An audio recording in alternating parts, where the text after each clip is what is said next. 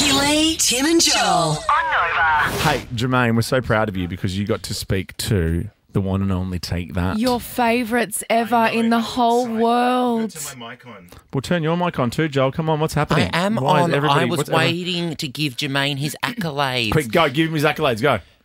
It's going to be a ripper interview, Jermaine. I cannot wait to listen to it. Thank you. I'm so excited. Can I tell you, Jermaine, after you did your interview with Take That, Yes. I had a little moment with Gary, your favourite, and he told me how much of he loved doing the interview with you, how proud of you he is, and he oh. said it was one of the greatest interviews he's done. And then I No saw way. Gary straight after that. And he said, "What I just told Ricki was a big fat lie."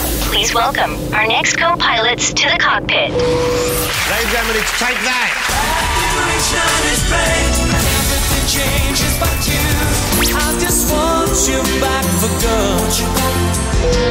You're listening to the Jermaine Plane on Nova. Oh, yes. Hang on a minute. Why Who's you- got his own show? Oh, me, buddy. Who's got his How own show? you? Great, mate. How are you doing? Hey, how are you? Jermaine? How are you? Nice to meet you. Hi. Nice to meet you, Mark. Jermaine, nice to meet you. Welcome. Here? In front of me, I've got the one and only Gary Barlow, Howard Donald, Mark Owen. Take that. How are we, guys? Hey. Okay, guys, just give me two seconds. I just need to do my quick freak out. Two seconds. Oh my god, I'm interviewing Take That! I can't believe it! Okay, okay, sorry. I just needed to get that out first because uh, you guys understand I'm a massive, massive, massive fan. Oh, so thank you so much, and it's a pleasure Thank you. to have you guys here. I mean, how's Australia going so far? Awesome. We've only been Yeah. here a few days, but uh, we did a show in Perth. Yeah. Um, and now we're really happy to have landed in Sydney. We're off to Adelaide tomorrow, aren't we? Um, but we're here for two weeks. I mean, Okay. that's that's amazing. We're, we're, we and we've timed it well. The sun's out. Tell me about your This Life tour. Um, there's quite a concept behind it, which I really enjoy, like these infomercials. And tell me about that. How did how did that concept come about? I mean, we love putting our shows together. If you've ever seen our shows in the past, Yeah, you know, a lot of the time, it's when we're writing the record, we start to think about what we can do, and we've done some amazing shows in the past. But I think that for us on this record, we, with the record especially, we felt like we were sort of giving a slightly different impression of ourselves, and, and it was a little bit more uh, intimate in in some ways, um, and and. It just felt like a really nice being able to play with the song "This Life," which I think when I played it to my wife the first time, she said, "Oh, it sounds quite 70 like uh, like a TV show." Okay, I was yeah. like, "We'll have that." Love Uh, that. So it was actually my wife who inspired it. But yeah, we d- just going down that color and trying to give a different uh, aesthetic to Yeah. what we're doing was is always great fun. yeah, wonderful. That sounds Uh, amazing. the guy who directed those infomercials that you saw actually also directed our Back for Good video. Oh, really? Yeah. Okay. Yeah. From back in the day. So Yes. that it was really nice to connect with him again um, and to be able to do something like that. And we did do two days of shooting. And as you know, Jermaine, in today's modern world, everybody goes like, we need content. Absolutely. So we, we, we were like, well, we'll give content, we'll make that. And we wanted the whole experience when people came to the show for it to start straight away. As soon as Mm-hmm. they walked in, we could like make it this world that they could be a part of. Um, I loved it. It was really good fun. It's really such, good fun. It's such a great concept. And look, I've got you guys on the show uh, as co pilots here on the Jermaine Plane. So uh, soon I'm going to ask you guys to really take over the show and to play your favorite Take That throwbacks of all time. So Okay. have a think about that. Uh, but first, it's been 30 years since your album. Everything changes, Mm-hmm. which is my favorite throwback. Take that album. I mean, so many good songs. Like we've got obviously everything changes. Why can't I wake up with you? One of my faves. My most favorite is another crack in my heart. A good little, a good little deep cut. Uh, Babe, pray, all those types of things. Um, let's take you back to that year to 1993. Um, what was going on there? Because the first album, Take That and Party, was a real party, dance, club, underground kind of vibe. And then we moved into this new New Jack Swing kind of vibe. Yeah. Tell me tell me about how that process happened, how that change happened. It was a really interesting decade, the nineties, and it's it's interesting to hear people talk about it, but also to have lived through it because it it's not necessarily the way people remember it. When we were first signed as a band, it was a very unfashionable thing to sign a band with an image like us. Because at the time it was a lot of faceless dance music acts that you wouldn't even know what they looked like, but they had these hit records with dance music. Yep. So we sort of tried to to do a mind meld of them both, where we had an image and we had this sort of. Our manager always had a bit of a dance influence, so he was always encouraging us to try and make dance music to um, to make it part of our performance and our show at that point. Um, but of course, from America, which is where most of us are um, influenced, came, was coming this new pop sound, um, which was people like Boyz II Men and Babyface, and and this swingy mid tempo sort of cross Atlantic music was hitting the airwaves. Okay. And we jumped on the back of that with Pray and a, an amazing British producer called Steve Jervier. He wanted to be the British version of New Jack Swing. Okay. And so we were sort of riding a bit on his coattails, but we had these pop songs that he was pairing with this sound and it was working great.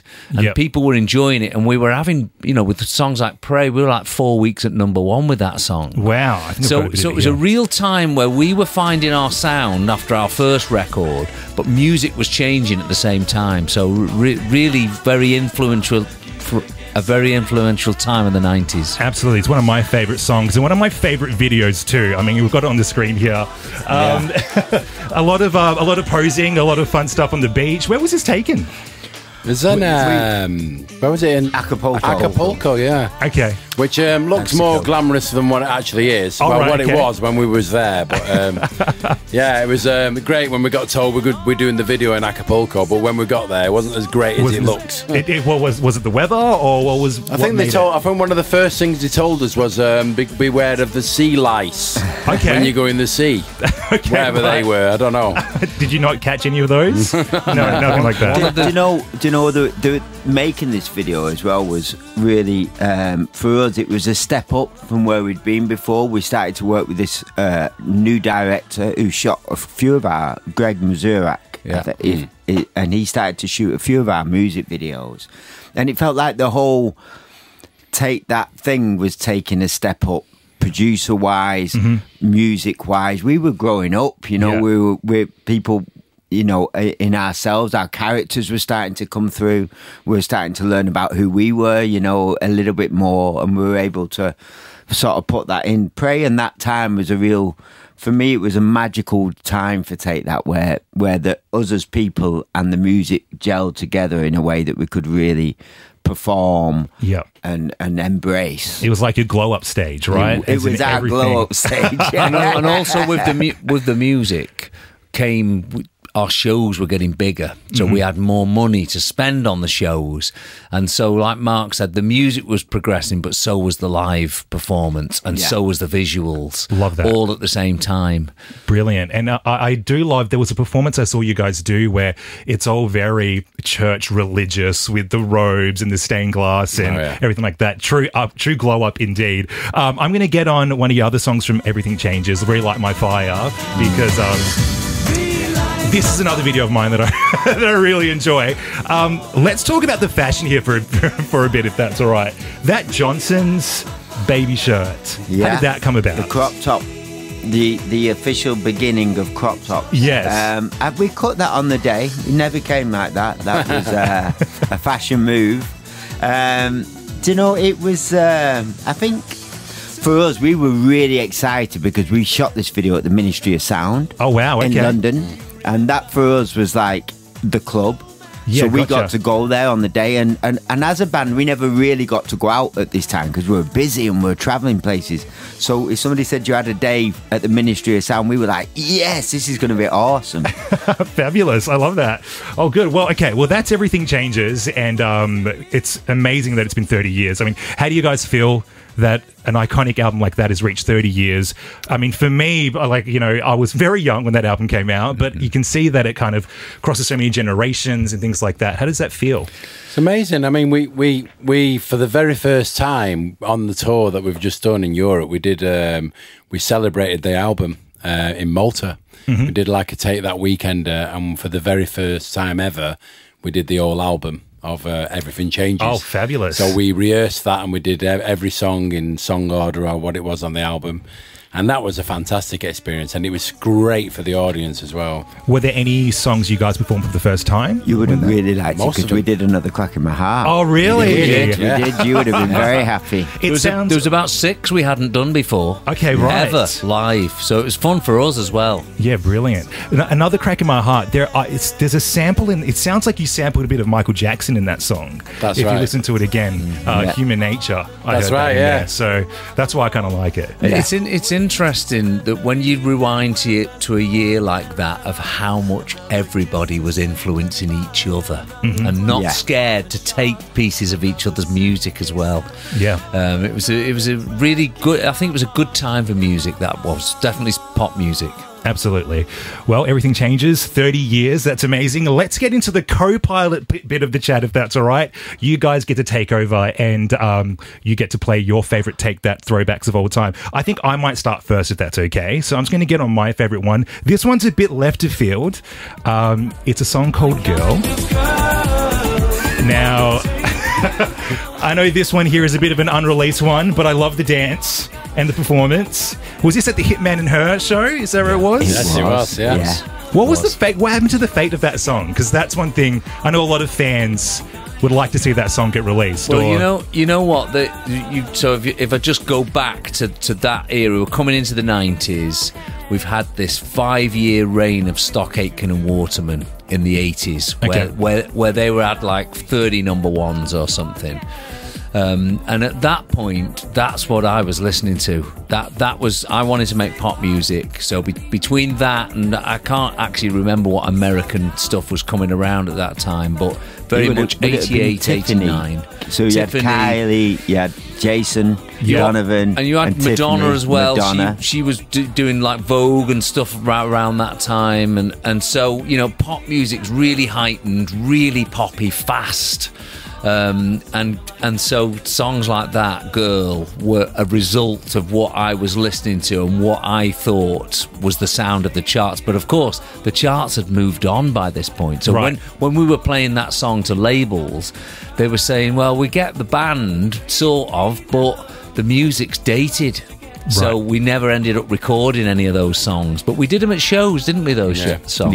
Yeah. Oh, I'd love to see a new performance That- of that. I think that That'd be might cool. have been like uh, the song that we performed the first time on TV, wasn't it? I mm-hmm. think mm-hmm. "Girl" was so Yeah. that was very early on. Yeah, that was we, Jason's we were debut. it was, we were just so excited to be on the telly. Yeah, you know, um, back then, you know, it was just like, oh my god, we're on the TV, and you could press record at home. You could record yourself. on a real throwback there. A real throwback. there we go. Here on the Threw Jermaine back. plane. There we Yeah. go. Flying back in time. Howard, uh, me, let's start with you as co-pilot. Um, obviously, you've done DJing. You know what a crowd can respond to really well. Mm-hmm. What would be your ultimate take that throwback of all time? Uh, I'm going to say Why Can't I Wake Up With You? The um, Jervier Brothers um, remix on- Okay. on, Everything Changes. Yeah. Uh, just simply because of the memories, because of its funkiness, and um, I guess the memory from the um, video that was shot, which was in a French chateau. Mhm. It was just the whole thing was like a great memory for me.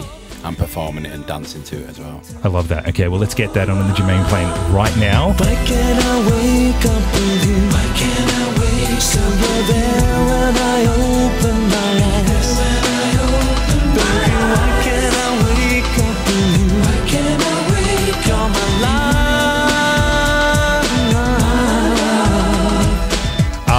Mark, let's go with you when it comes to your ultimate take that throwback. What's your favorite? How how how not throwback can we go? Can we do little throws? Or have they got to be really big throws? Let's go. Oh no, it's it's your band. Go for Okay. go for whichever throwback go. you want. I'm going to go to progress. Okay. If I, if that's okay. So Sure. it's a, it's like a medium throw Mhm. um, to the flood, uh, which for me was just such a beautiful moment for us as a band to get back in the studio uh, as the five of us. We went to Electric Lady Studios in New York, um, which was Jimi Hendrix's studio. We all turned up in New York City and we, we started making a new record. Um, and it was just the most exciting time. And that song for me was, it was the first time the, we had been together creatively as a band and, and writing together and performing together as a five on our own in our own way just left there to do it and it was really really exciting and, and the energy you could almost you know taste it Mhm. would play drums on it Oh, really? yeah Oh yeah. I think. okay. Was it was it a challenging experience doing No, the drums? with well, us? it was, e- it was an easy. It was for you. no, it was an easy. It's an easy, it's an easy pattern, so it was. Um, that's why I played it. Yeah. I wasn't getting too complicated. Yeah. well, I think it's a very genius song, and let's get it on right now here on the Jermaine Plane.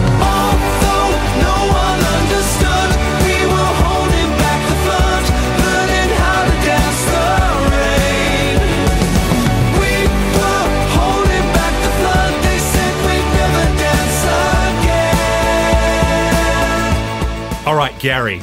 So you're the songwriter. You uh, you've created all these amazing songs for the band, and uh, it would be great to know what your ultimate take that throwback is. So go ahead. I'm going to go slightly off the beaten path too. Okay. And I'm going to say this particular song because there's been many songs which have been really important for us in our sort of milestone 34 year career. Um, but I believe that one song that made people just double take a little bit on us was a song called A Million Love Songs. And, mm-hmm. and no one expected it from this band that do dance routines, that wear the leather clothes, boy band, five faces. No one expected that song to come. And it was at a time where people were like, they're just a boy band, whatever.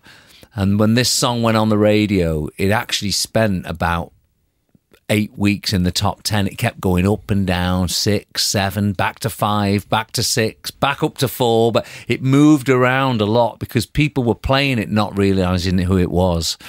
Um, and I believe it was a really important song for us. And of course, nowadays we play it at, at a concert and it's like a standard. Now it's one, Absolutely. a song you can't leave out, really. Is it Mike Stevens? Is that your is that your saxophone? You know what? Bizarrely not. Okay. Mike is our. Um, he's been our musical director since 1993. But Yeah. actually, the guy that played on that record was a guy called Snake Davis. Okay. And he was just a session player. He was brought in because my demo had a keyboard sax on it. And I mm-hmm. always dreamed of a real one, but I, I didn't know anyone who played sax. So when the producer produced the song, I said, "Can we have a real sax?" And he was like, "I know the I know the guy, Snake Davis." Fabulous. Yeah, I love that. yeah. And refresh my memory, was this also one of the first demos you ever made that that got you kind of that spot as songwriter for the band? Well, you know what? It was on my the when I first met our manager Nigel in 1990. I took in a cassette and it had four songs on it, and "Million Love Songs" was one of the songs. And um, and it and it when he heard it, it he kept going. What about what about a million love songs? But he- he'd, he'd say, you know, what have you recorded this week? Well, what about a million love songs? He kept coming back to that song. Um, and I don't think the label ever really saw it as a single for us. And so when the time was right, he pushed it as we need to, to go with that one next. Mm-hmm. And he was right because it was a, it was a big record for us. Brilliant. Well, let's get that on right now, flying back in time here on the Jermaine Plane. A Million Love Songs by Take That.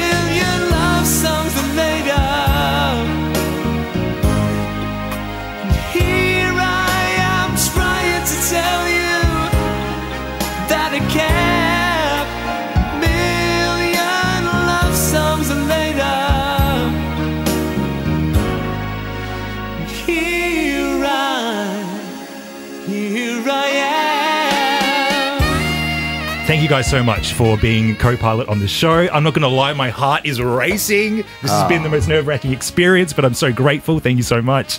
Um, before I let you guys go, here at the Jermaine Plane, we fly back in time across genres, across decades, across countries, across cities.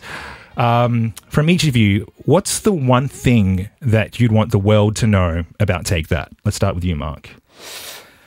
Oh, good question. Um, I think that for me, uh, live shows are the thing that is always. Um, I know that we we take a lot of pride in the shows that we put together, and so I think that. And I'm still, whenever we go on stage, I'm always really proud of the shows that we do. So I, I think that that is an important. Um, that's a, a thing that I'd like us to be remembered for is doing these big live shows. Okay, cool. Fabulous. Thank you very much. Howard. Oh God, he's got me because he's just nicked my answer. no, I think I'd like everyone to know that since the year um, 2006, we all decided to write all the stuff together. So we all share the writing, and we all love getting in the studio and writing together as a band. Fabulous. Thank you very much. And Gary, what's the one thing you want the world to know about Take That? Well, we've been together for a, for a long time, and I believe that when anything lasts many years, there's usually a good reason for it. And I think it's because we love this band. We really do, and we love every piece of it. The writing the music, the making the music, the performing the music, and also that beautiful audience that have followed us for years and years. This is the Take That world that we love, and it's the reason that we're still here, we're still friends, we're still colleagues, we're still ambitious, we're still trying to make things better every year. Um, and the reason for that is that this world is it's a great place to be, and we love it. Thank you very much, Take That, for joining me as co pilot on the show. Uh, this Life World Tour around Australia right now, and uh, Everything Changes, turning 30 years. Thank you so much for your Thank time. you, Oh, mate. mate. And Thank you so much. congratulations. oh, thank you. Thank Thank, you. you. very much. This is the Jermaine Plane on Nova Throwbacks.